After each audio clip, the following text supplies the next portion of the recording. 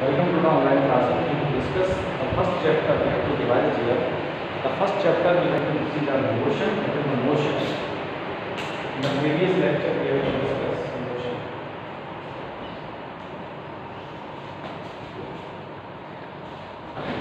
if any object if any object does not move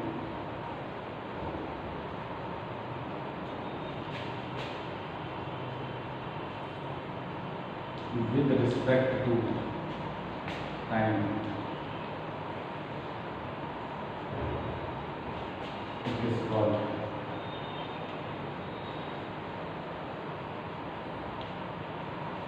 motion.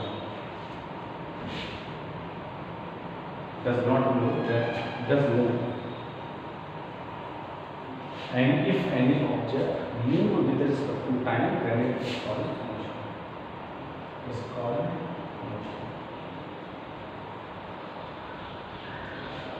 this is the definition.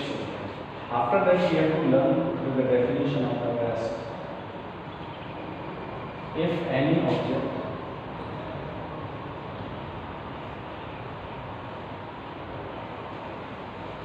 does not move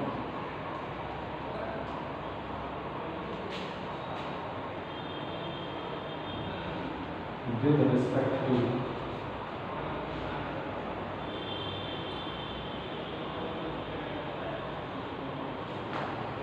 does not move with respect to time. Then it is called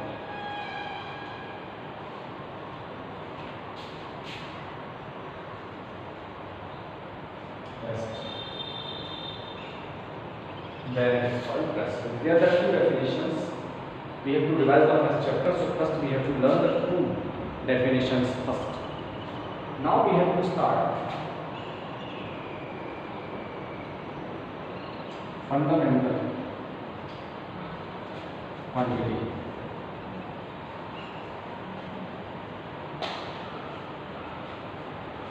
Fundamental The fundamental quantities is says that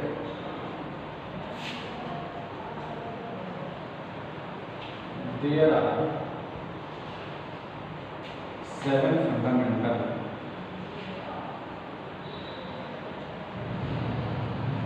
quantities.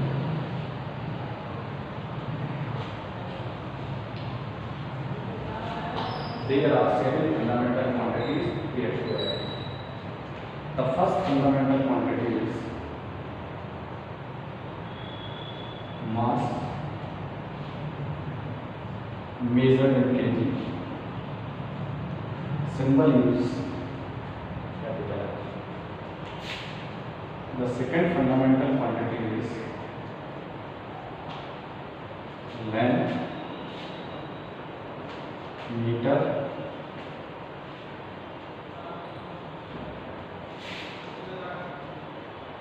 Third fundamental quantity is time, second,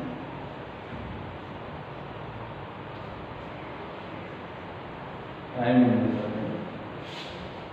The fourth fundamental quantity is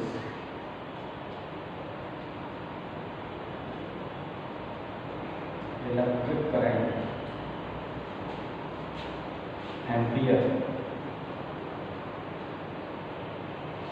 Or ampere means. The fourth or fifth fundamental quantity is temperature.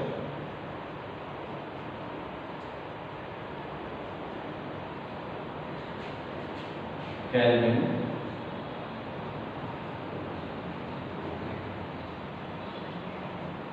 That is represented as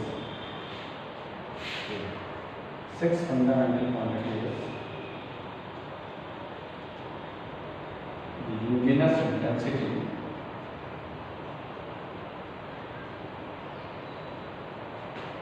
that is candela.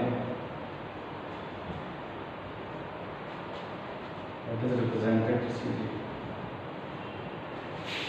Last. Amount of substance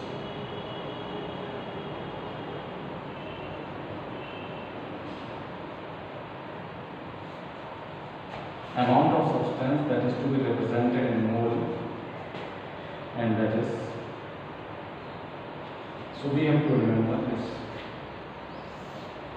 These are seven fundamental quantities so we have to learn this